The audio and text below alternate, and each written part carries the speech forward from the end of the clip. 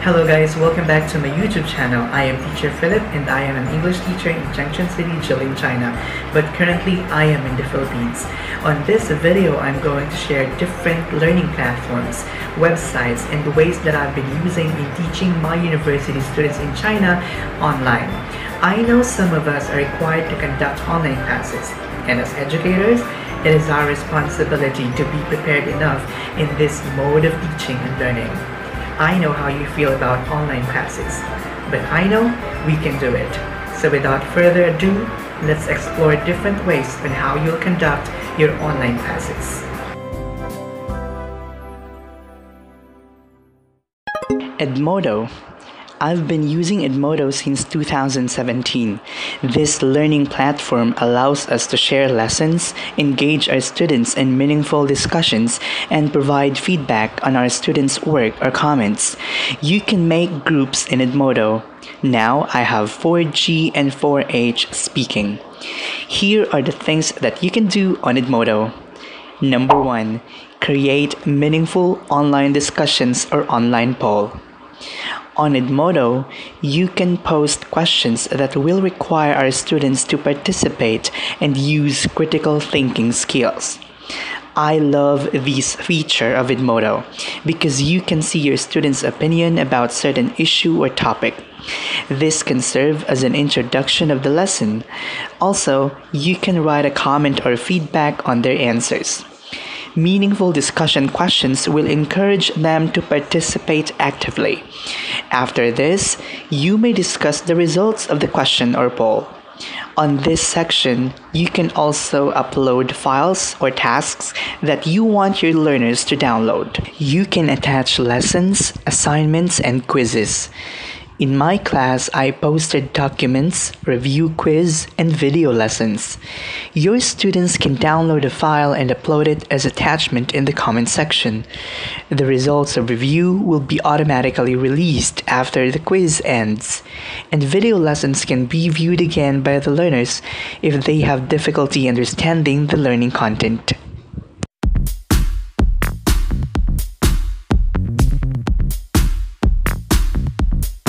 Number two, photos for critical thinking and deep discussion.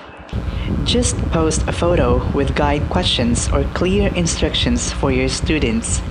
I love this because it encourages deep analysis and critical thinking. Below, you will see students' answers or comments about the picture. This will improve their thinking skills because you will ask them to explain the picture's message, to connect this to life, and to reflect about the message of the picture. Again, let's not just stop in providing work to our students. Let's evaluate them by asking them to provide reflection about a specific topic.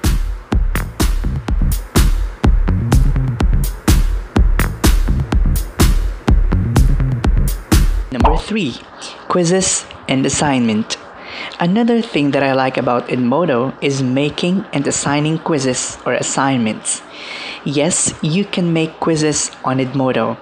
Just go to the library and you will see your quizzes and you can assign them later. If you go to the new tab, you will see that you can upload files, link, Word documents, Excel, and PPTs.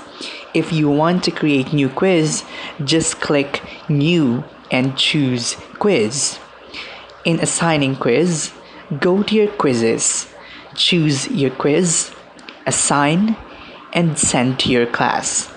Edmodo can also provide you the scores of each student, so grading the test would not be a problem for teachers. It will be a piece of cake for Edmodo.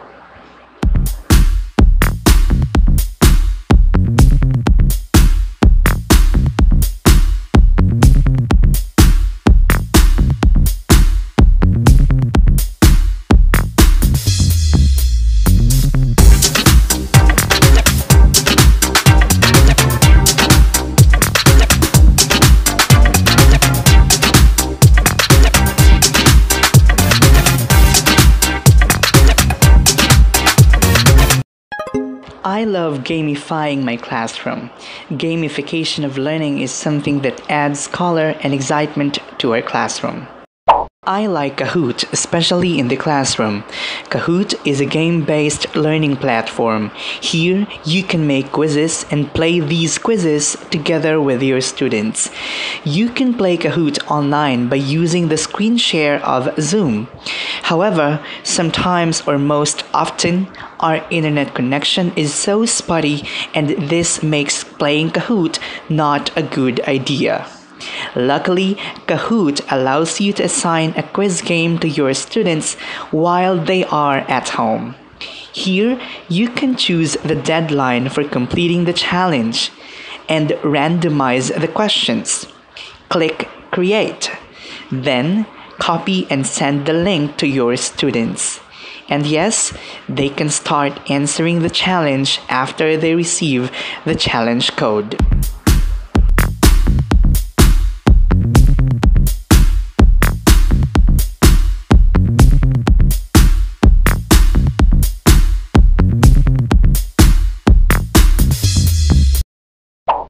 Quizizz is another game based learning platform that is a very colorful page. After you create your account at quizizz.com, you may start creating quizzes like in Edmodo or go to My Quizzes if you have already made one. Does it help us in distance learning? Like Kahoot, Quizizz will allow you to assign your quiz as homework. Just go to My Quizzes Select your quiz, click Assign Homework, select the deadline for completion, continue, and ask your learners to go to joinmyquiz.com and enter the code.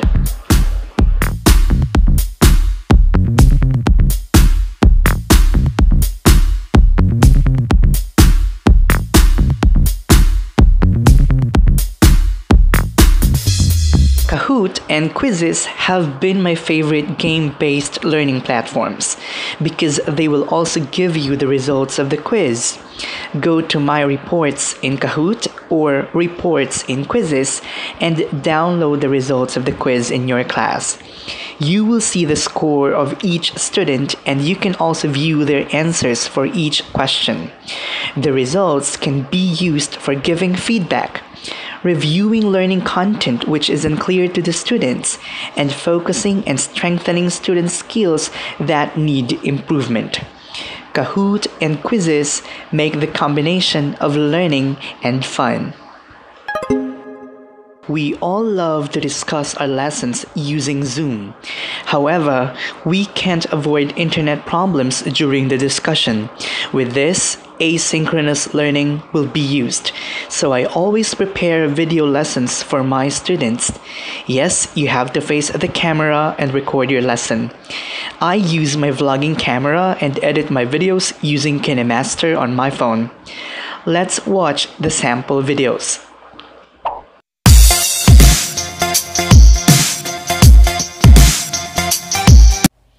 Have your heart in your mouth. Look at the photo. Is it possible for your heart to be in your mouth?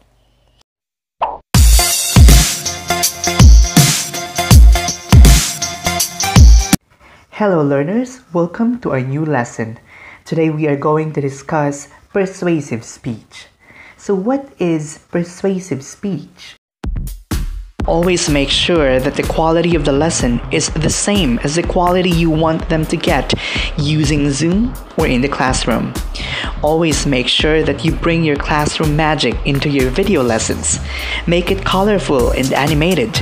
Make your voice encouraging and full of life. Instant communication can happen using our messaging apps. Messaging app can also be a powerful tool in online teaching.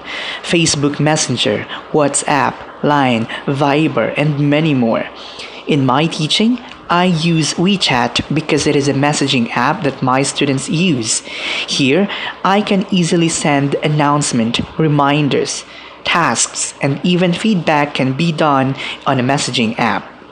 Sometimes I do my discussions on WeChat using voice messages when the other learning platforms fail to perform in class time. Yes, it might not be the best platform, but meaningful interaction can still be done if we set clear expectations to our students. Yes, in online learning, clear and specific expectations are needed for our students to be guided in their journey to online learning.